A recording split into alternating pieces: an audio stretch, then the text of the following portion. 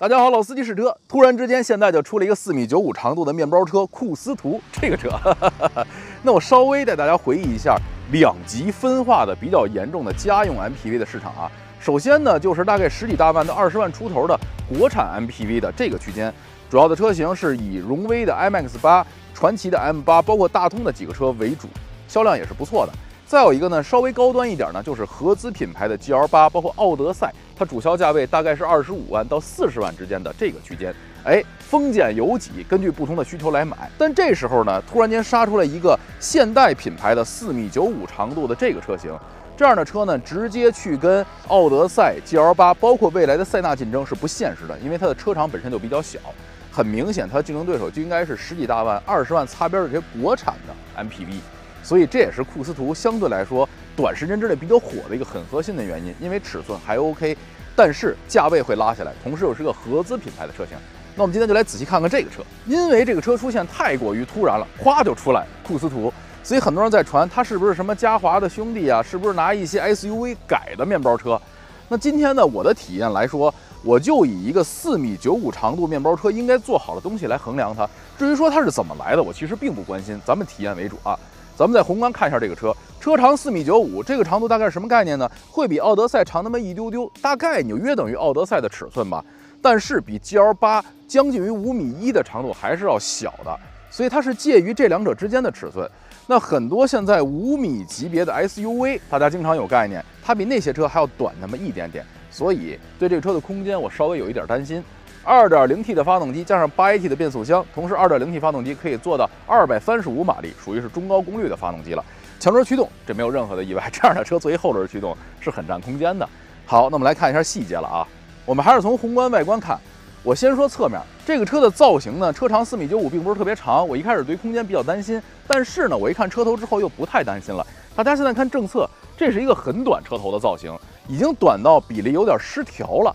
过于短小的小鼻子，这个小鼻子你看过去，仿佛这个发动机舱里面基本上只能装个 1.0T、1.2T，至多能装个 1.5T 的感觉。但是它确确实实塞了一个 2.0T 的发动机，还是让人比较意外的啊。车身其他的侧面看起来就比较肉墩墩的，像是一个 SUV 改出来的 MPV。那具体是啥改出来，咱也就不猜了。一会儿咱进去看体验。那回到外观细节，中间这个多边形造型的中网，我觉得还是挺好看的，并不像其他的现代车那个嘴咧的过于的夸张，这个还是比较收敛的。然后这个漆面呢，属于那种藏青蓝的灰色，可能在您的镜头里看着应该比我的实际体感要再深一点点，因为今天的太阳太大了。这个漆面还是挺好看的，配这个车身是有时髦的感觉的。车身的侧面呢，这个轮子的尺寸并不是非常大，二二五宽度，同时是一个十八寸的直径，五五的扁平率。MPV 的轮子稍微做小一点的话，它对于空间的挤占会比较好，所以说轮子小就小了，并且五五的扁平率这胎壁还算是比较 OK，保证了一定起码轮胎方面的舒适性。后面的一些细节呢，它的拉手上有这种菱形格子的不灵不灵的感觉，这感觉就太奇怪了，因为整车其他的位置并没有这样的菱形的不灵不灵的这样设计。突然间加上这样的一个装饰条，就给人特别跳跃的感觉。再有呢，就是后面的滑轨比较外露，这也没什么可挑的，因为毕竟不是个特别贵的 MPV 嘛，没有做滑轨隐藏也就算了。油箱盖太奇怪了，油箱盖是直接压在轮眉上，然后一半是在车身上，好多的线条把这油箱盖给分割的乱七八糟的，这油箱盖真的是让我觉得不太舒服。好，我们现在看一下车尾。这个尾部的造型，双 C 字的，在很多现代车都在用啊。他很喜欢这种贯穿式的尾灯，已经不新鲜了。电动的尾门，我们打开一下。打开的过程中，我先不看啊。我觉得这个后备箱应该不会特别的大，因为车长有限嘛。哎，一眼看过来了啊。我评价一下这个后备箱的进深啊，可能您看视频没有太大的概念。这个后备箱的进深呢，我大概量一下，是比我一个小臂大概还多那么小半拳。这个进深对于一个四米九五的车长来说的话，我觉得已经做的算是不错了。对于车长来说算不错啊，听清楚。但是对于如果是满员六到七个人的情况下的行李，我们要跑个两三百公里，从北京去趟秦皇岛度假的话，这个行李放着可有点局促啊。但是车长就这样了，所以说跟车长一比，我还是满意的。但是现在第三排的空间，我自己心里又打鼓了。后备箱盖板底下呢，还有挺大的一块储物盒，能装不少零碎。所以这扩展性能我是满意的。在整个的后备箱的下面底挂了一个备胎，所以这个后备箱如果是不带备胎的话，它有可能使用的空间就会更大，可以变成一个巨大的下沉的储物箱。它用多了一个备胎换来长途续航过程中的一个安心。而没增加后备箱的一个整体的下沉的空间，这是一种选择。那如果我们把第三排的座椅放倒，把它变成一个四座车，因为它前面是两个独立座椅嘛，在这种情况下，还是这句话，任何的 SUV 跟 MPV 如果是三排的话，一旦放到第三排，那个空间就会大了去了，这是肯定没问题的。那这个空间还有一个特点是，它跟后备箱能形成一个完全平板的装载状态，就能很利于装东西，挺好的。其他一些细节啊，在它的六七座模式情况下，只有上面下面各有两个。小的挂钩可以拉一些置物网啊，或者是其他的，没有什么特别的。在后备箱的正上方有一个小灯，刚要表扬，但是太昏暗的卤素小灯了，基本上照明的水平也没有什么太多的亮度，还是要批评一下的。好，这个后备箱情况就是这样，四座模式下非常的满意，六到七座模式下我觉得也就是这样了，车长就这么大嘛，但是没有太多的其他的附属配件，这我是不满意的。好，进车内。这车坐进来了，我体验了十几分钟之后，给人一个感觉就是你刚想表扬一点，又想批评；刚想表扬，又想批评，这样的一个矛盾体的结合。我带大家分析一下啊。首先看这个内饰的整体设计风格，我觉得还 OK。这边行车的小屏幕、小窄条，像是那种宇宙飞船那种操控的感觉，没问题。中间这个竖在这儿，单独立着一个大屏幕，你要说很突兀呢，也很突兀。但是很多车都这么设计，其实无所谓，只要是大屏幕反应速度快，功能比较好就 OK 了。造型并不是特别的重要。中控台的其他造型，上面是做成这种仿皮子，但实际上是类似于软糖素的材质。中间是这种类似于布纹，实际上摸上去是这种塑料打上去类布纹及类木纹的这样的一个装饰，我觉得还是挺素雅的，不怎么太反光。底下呢就是硬塑料的材质，这也没什么说的，因为毕竟是一个性价比的合资的 MPV 的车型。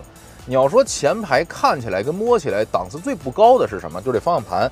首先这皮子显得特别薄，摸上去有点是类似于比较厚的纸的感觉。然后这个造型啊，这个造型我觉得有点像那个北汽新能源那个标，是不是那个感觉？就是不太好看，老给人感觉说，哎，这是北汽的车呀，是这种感觉。所以我觉得这个方向盘应该是这个前面让我最跳跃的这么一个方向盘。其他我觉得还好，因为毕竟。听说有可能是擦二十万边的 MPV，它比奥德赛跟 GL8 要便宜了很多。一便宜的话，很多东西我都能认可跟妥协了。好，我们再看一下配置了啊。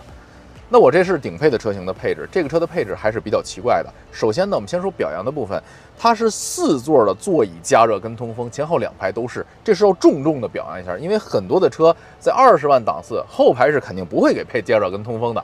这是，哎呦，鼓掌表扬一下。同时呢，前排主驾驶竟然还带座椅记忆了，这是鼓掌表扬一下。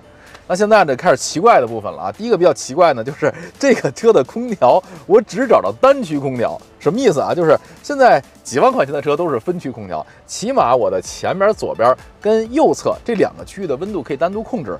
但是在这个车上，我愣没找着单独控制，整个车厢里面只能执行一个温度，因为这边你看是温度调节，右边也是加减，我以为右边是单独的这侧的温度调节呢，结果一看这边是风速的变化，我一摁这个，直接就取消自动空调的状态了啊。那很明显，这是个单区空调。这么多年了，很少见这么大车是一个单区空调，基本上大家都是三区或者是四区。什么叫三区？主驾驶是一个温度区域，副驾驶是可以单独控制温度区域，同时第二排可以单独的控制温度，甚至有的第二排左跟第二排右也是单独的温度分区，那就是变成四区了。但是这车是单区的，所以呢，我就批评了这一个单区空调。但是呢，在座椅的功能方面呢，这又得表扬了，因为在就这个空调界面的右边一点座椅，我竟然发现了说，它这个四个座椅的控制都可以在这个屏幕里来进行。你看，现在我就落在主驾驶的位置，开着座椅通风，这边是座椅加热。我现在切到副驾驶，不但咱们常规的座椅通风跟加热在这儿可以直接控制副驾驶的，同时连副驾驶往前挪，便于第二排 VIP 进出这样的功能，都可以直接在我的主驾驶位置有权限控制。我这么着一点，你看。副驾驶就往前挪，然后这样的话，第二排的 VIP 上下车就非常的方便了。我还可以给它复位，真的是非常好这个功能。然后我们再转到右后座椅，右后座椅呢，它的复位、它的休闲模式、睡眠模式，我都可以在这儿进行控制。那左后座椅也同样是，所以这个屏幕对于整车四个座椅的控制是让我非常意外的。这套车机系统呢，好像是有 CarLife，但是没有 CarPlay，也就是说比较。便于连接安卓的手机，但是苹果手机并不是特别的友好嘛。好，我们来看一下储物的环节，上面少了一个墨镜盒，因为这样长途通勤的车墨镜盒还是非常重要的。中间这是无线充电板，同时不做无线充电的时候也是很大的一个储物盒，周围有包裹的空间，里面东西不至于飞出来，非常好。杯架的空间空间还是很大的。可以放各种各样的大小水瓶，包括比较大的脉动瓶也是能塞下去的。在杯架的左边是现代最近都在用的这种按钮式的电子换挡，我觉得挺好的，非常直观，并且不占底下的空间。这么着一摁 D 档就执行 D 档了，不用做叭叭叭来回推，推两下才是 D 到 R。它在 D 档模式下踩住刹车，直接一摁 R 就到 R 了，还是很直观的，一摁 P 就过来了，非常好。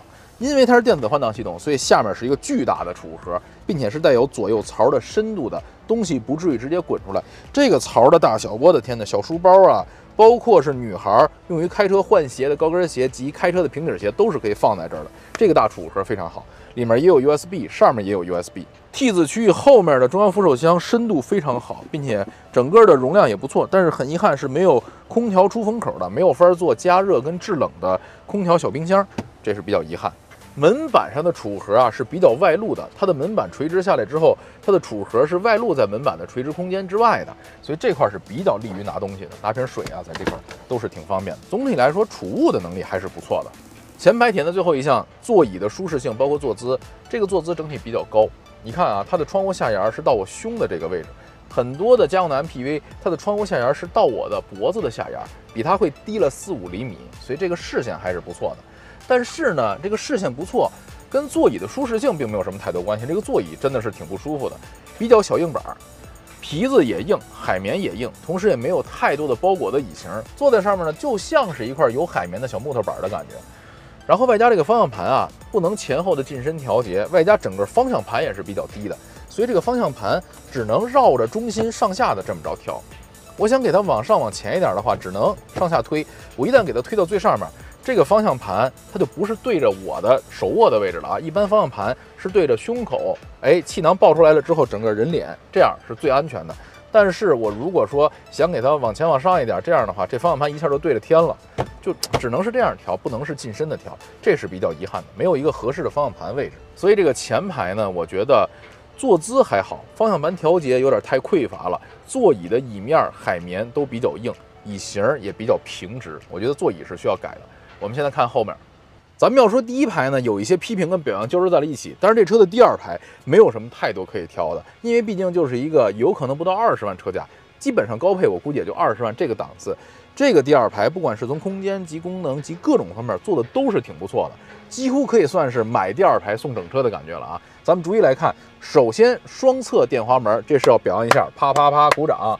然后后面带有遮阳帘儿，手动的，这是要表扬一下。很多这个档次车是不带遮阳帘的，但是遮阳帘有个小小的问题，就是遮阳帘遮上之后，最需要防护隐私的部分就是这个区域。这个区域它愣是一个透亮的，人在这趴能往里看，这是非常不好的。这块一定要防护好，否则我要遮阳帘干嘛呀？对吧？同时呢，这边的侧窗是可以开的，咔能降下来。很多的 MPV 车型就不能降窗了，这是要啪啪啪表扬一下的。然后咱们再看岛台区域的功能啊，独立的后面的出风口，当然了，整车是一个区域的空调啊，这边出风是没问题的。但是呢，我觉得稍微少了点门柱上或者是这块的出风，毕竟后面的空间还是比较大的，第二排的空间单独一个出风点是不够的。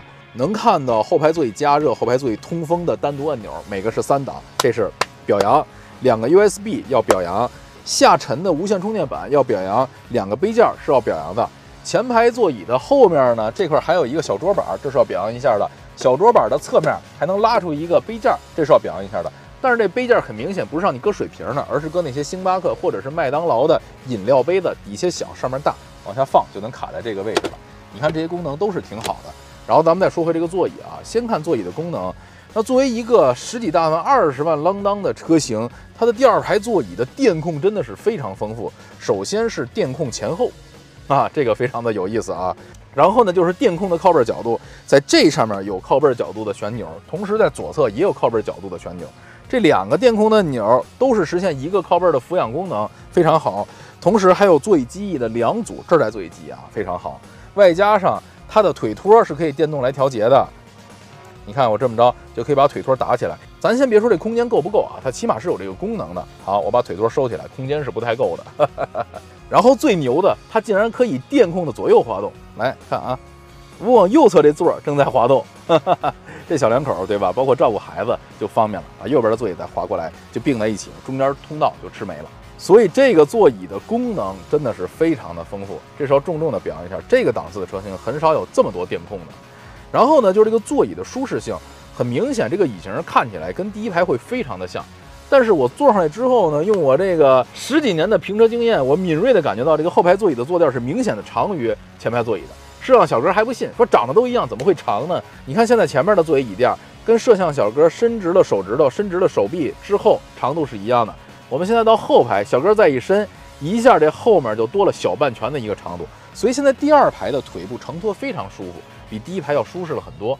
外加上我觉得第二排的座椅有可能比第一排还要再软一些。外加上第二排座椅的靠背是可以调的比较仰的，所以第二排的舒适性很明显就跟第一排那种有点硬的小板的感觉是不一样的。我挺喜欢这个第二排的坐姿的。然后坐 MPV 呢，有一个很常规的姿势就是放躺去睡觉。但是这辆车呢，因为整个轴距会比较有限，所以它每放躺一点角度的话，椅垫都得往前挪一挪，否则的话靠背就跟第三排接上了。我现在是把座椅椅垫往前挪了，才能把靠背放到这个角度。这个已经是舒适睡觉的比较极限、比较垂直的姿势了。理论来说，我要想睡觉的话，应该比这再躺一点，可能会睡得比这要再舒服一点。但是现在也就如此了，因为再往前的话，那我的脚部、腿部就会比较局促了。然后这个座椅呢有双侧的独立扶手，你在躺着睡觉的时候呢，前面还有个小按钮，这个按钮按下去的时候，它就可以超常规的姿态把这个扶手再往下压，就变成了睡觉的时候仰着就可以平着单胳膊了。那现在就耷拉着啊。好，那我现在就把过道拉开，便于我进第三排。同时，我把第二排的座椅往前拉，拉，拉，拉到距离第一排一拳半啊！现在已经到最头了，到最头的时候也超过一拳半了，这已经是两拳了。OK，它也只能到这儿了。我现在进第三排看一下，调好座椅进第三排啊。这个过道吧，对于我这么大只的身材来说，稍微有点矮啊。我进来的过程中碰着上面那天窗的开启按钮了，整个遮阳板打开了，这就是垂直高度不太够。坐进第三排。这空间让我还真挺意外的啊！首先车长并不是特别的长，第一排是我标准坐姿，第二排拉到最前面卡住的情况下，距离第一排还超过了两拳，两拳零一指。在这种情况下，其实是超过了我们留给第三排空间的标准。我们的标准里面，第二排是要留一拳半距离第一排，这样的话来看第三排的空间。但是它的滑轨最靠前只有超过两拳，所以它第三排空间就有点吃亏。按照我们的标准，但是呢，现在这个第三排的空间，你看。竟然有一拳一指到一拳两指，咱就按一拳一指算吧。所以如果它的第二排滑轨能再往前移一点儿，再少半拳，就符合我们的标准了。在这种情况下，它的第三排也是一拳半。所以说这个空间真是挺大的，真是很大很大的这空间，不错了。毕竟啊，这个车头是省了很多的空间，才能保证有一定的后备箱空间的情况下，还能把第二排做到两拳，第三排做到一拳出头，空间没问题。咱们再看坐垫，这个坐垫并不是特别低，出溜到地面那种坐垫，是有一定高度的，所以它基础舒适性，腿是不至于特别窝着的感觉，这是不错的。但是呢，考虑到这空间比较局促，所以它坐垫并没有做的特别的长，这是一个小小的短板。但是还好，毕竟这个位置它并不是最主要的一个位置嘛。座椅的椅垫呢，跟第二排差不多的软硬程度，很明显比第一排我的体感要软，这后两排。但是我如果单拿手这么去。具体的每一个点去摁的话，我又发现说第一排好像跟后面也差不太多，这个体感不知道是为什么有这样的差异。靠背角度是可以调的，通过后面那个拉绳就能调靠背的角度。它后面这个大窗户尺寸比较大，并没有那么压抑，后面也有杯架，右边有空调的控制，同时有 USB 的充电。第三排还有独立空调出风口，外加它这个大天窗，从第二排的脑袋正上方一直延续到我第三排的脑袋前面，所以我这个视线在上部的采光还是挺好的。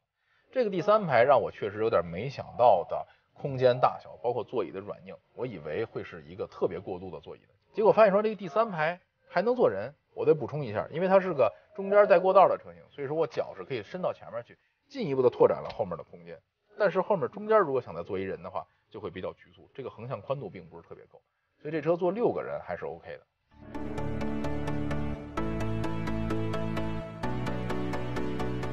好，我们现在开起来了。但是呢，在正式聊开之前，我先补充一个前排座椅的感受的细节啊。因为我说这个座椅并不舒服，比较硬，没有感觉到侧面的护翼的任何的包裹。我仔细研究了一下，因为它跟后面的椅子有点像。为什么前排椅子又不舒服呢？两点，第一个，坐垫明显比后面要短了半拳呢，所以这个腿部承托一下就少了很多，就没有觉得哎承托很充分的感觉。再有一个，前排座椅这个腰靠明显的比第二排顶的要高了很多。并且是不可以调腰靠的进深的，导致的其实我现在感受到的后背比较像小平板，都是这个腰靠顶出来的这个硬度。腰靠一顶多了，正好把两侧的护翼高度就给顶没了。我还感觉到这个比较平板，它没有护翼的一个加紧，所以说都是因为这个腰靠的原因。前排的座椅厂商还是得优化一下。然后就该聊行驶了。其实啊，聊一个 MPV 车型的行驶就两点：第一个足够安静，第二个足够软。那至于说动力之类呢，只要是别太干扰驾驶，别让后面的乘客感觉不舒服就 OK 了。那我们来看一下行走有关的硬件：2.0T 235马力的发动机，这个发动机已经属于是中高功率的发动机了。一般来说的话，很多 2.0T 的发动机只能做个180马力、200马力，能做到235马力，劲儿不小。8AT 的变速箱，前轮驱动，这都是没有任何的问题。那咱开起来还是先说动力吧，因为呢，这个车的235马力的数据，所以说我对它动力还是挺有期望值的。结果是符合我的期望值。首先，这个 8AT 的变速箱，它的换挡属于是种中规中矩，没有什么太多存在感的，顿挫肯定是没有了。同时，属于那种不灵敏也不晚的。我现在驾驶模式搁在舒适的这个状态，MPV 的车型肯定是搁在舒适，完全没有必要搁在什么运动的这些模式。在这个模式下，变速箱首先是很得体的换挡的时间。哎，不紧不慌的，然后就这个动力，2.0T 的动力，油门释放也是非常得体，不紧不松的这种感觉，不是那种特别灵敏的日系，也不是那种比较沉稳的德系的感觉，取了一个中位值，所以这个变速箱跟发动机正好就符合我对 MPV 的一个定位。你稍微身材点，动力就有，并且你再重的身材，你像现在，它的持续加速能力还是 OK 啊，虽然它的噪音会比较大。但是这二百三十五马力的数据就是跟那一百八十马力是不一样的，所以这叫动力是没问题的。变速箱尤其是表现比较出色。然后咱们再说隔音降噪啊，这个悬架的表现是超过我意料。虽然它不能做的像 GL 八那么的软，那么的行驶有质感，但是这个悬架整体来说属于是软的悬架了。过沟过坎的时候，刚才我们压了一个井盖，烫烫烫烫，哎，那个感觉还可以啊，并不会是像老奥德赛那种的又散又硬，咣当咣当的感觉。我以为韩国的车型可能悬架做起来都会是那样的感觉，但实际上并不是，所以这个悬架给我的印象分数非常好。如果 GL8 的悬架我给一百分的话，那这个悬架我可以给一个八十分。隔音降噪的方面呢，咱们前面已经说了，它用的是一个五五扁平率的轮胎，相对来说这个轮胎是比较厚的，并不是特别薄那种。同时轮子的直径也并不大，轮胎也并不是非常宽，只有二二五的宽度，所以理论来说，这个车它来自于轮子部分的噪音应该控制的还不错。